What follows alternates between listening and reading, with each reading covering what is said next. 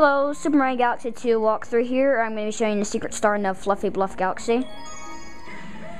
And to do this star, you will need a hundred coins, and you have to know where to where the Hungry Luma is, which I will show you. It's not that hard to get to.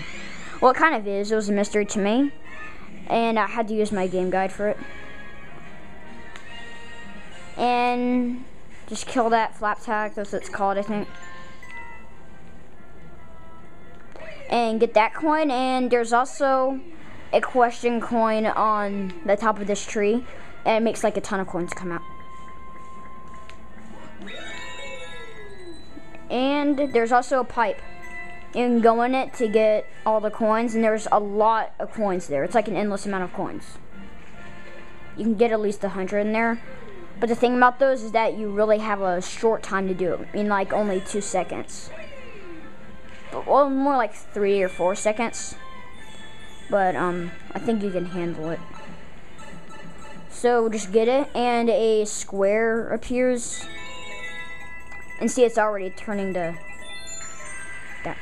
Now, just get all the coins. I think I'll be able to get all of them because I didn't get those.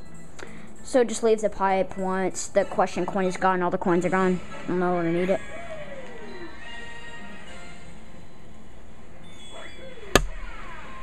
Wish that Luma there was like not it didn't want any coins. I wish it gave Starbits because there's like a ton of Starbits here. So Phil kill the Flapjack again. And you can get the Starbits if you want.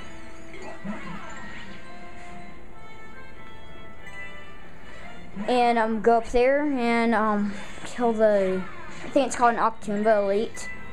It like shoots two rocks instead of one, like the others.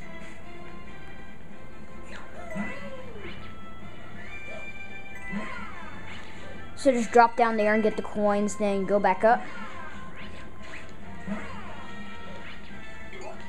And kill the Piranha Plant and the Flapjack as well.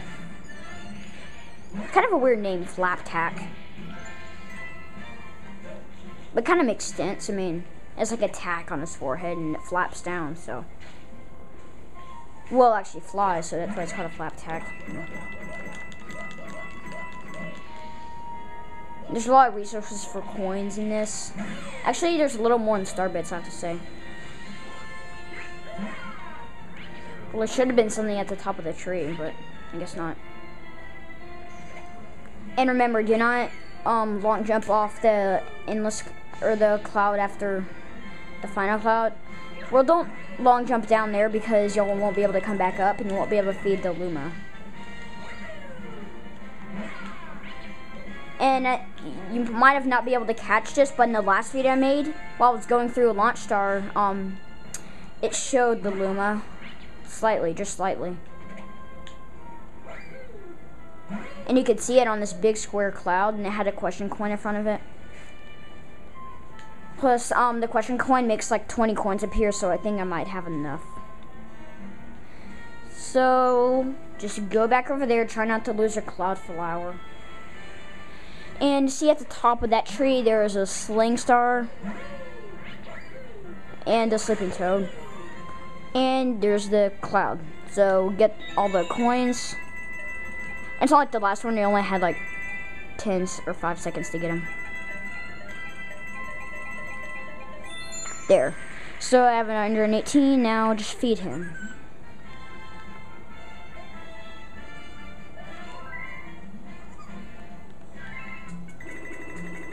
The thing I like about the coin limits is that you don't have to hold B on them. They just automatically get fit, feeded. And it transforms into a planet, which you do see again, but I'm not telling you where because I don't want to spoil it for anybody.